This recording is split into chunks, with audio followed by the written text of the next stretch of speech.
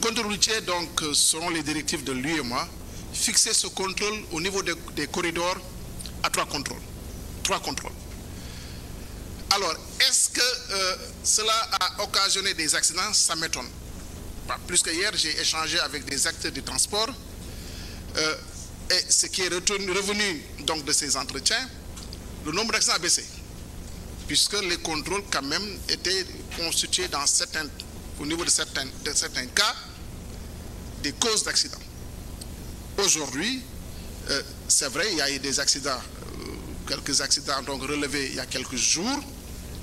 Euh, les trois points de, contrôle, ce sont les directives de l'UEMA, routier, mais cela n'empêche pas, en réalité, donc, que des, points de contrôle de sécurité puissent être réalisés au niveau donc des, par forces de sécurité et de défense.